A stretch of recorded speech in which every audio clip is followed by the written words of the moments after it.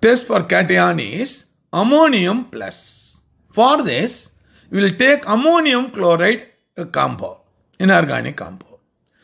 So normally you dissolve in water and keep solution for the test. The first test is action of sodium hydroxide.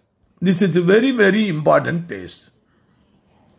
Not only in inorganic point of view, but also organic point of view. Okay, what is happening when you treat with sodium hydroxide? 0.4 ml of ammonium chloride solution is formed with 1 ml of conc sodium hydroxide solution. So what will happen now? When you treat sodium hydroxide with ammonium chloride, so ammonium hydroxide and sodium chloride will form. Okay? Right. Now, a glass rod dipped in conc HCl is shown in the issuing vapors. Vapor will be issued. White vapors will be issued. So ammonium chloride will be formed on the glass rod you can see. A pungent smelling gas is a wall which produces dense white fumes with the HCl. Okay? This is the the corresponding uh, the taste and the reaction you can see now. Ammonium chloride solution, when you treat with sodium hydroxide, we are getting sodium chloride, ammonia, water. So ammonia gas is coming out. So if you take a glass rod dip it in HCl, and if you add, you will get ammonium chloride deposit on the glass rod. So white fumes you will get.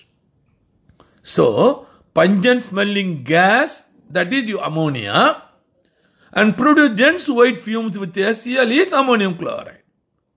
So, for ammonium ion is confirmed again by this test. The next radical is ammonium radical. So, I have prepared ammonium chloride solutions. I have prepared.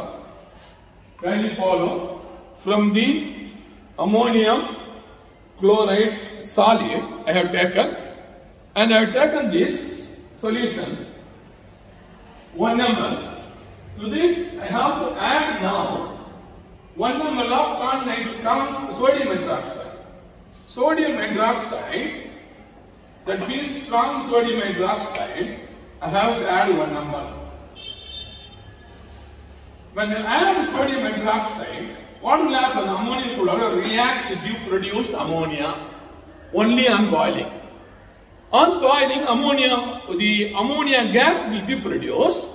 And if you take a glass rod and dip it in HCl and show over the flame, that glass rod will be uh, forming a white solid.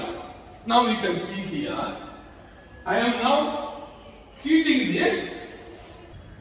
So, I am now boiling the solution.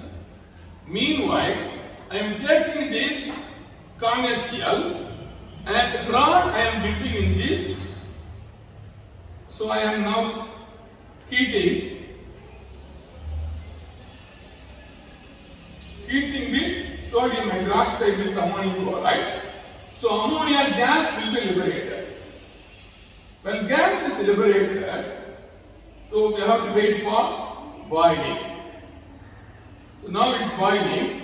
Now, in the mouth, see here, I can show you.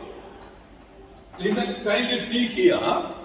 In the mouth, see, you can see that is the fumes it is forming. Fumes, it is due to corresponding ammonium chloride formation. This is a confirmative test for ammonium radical.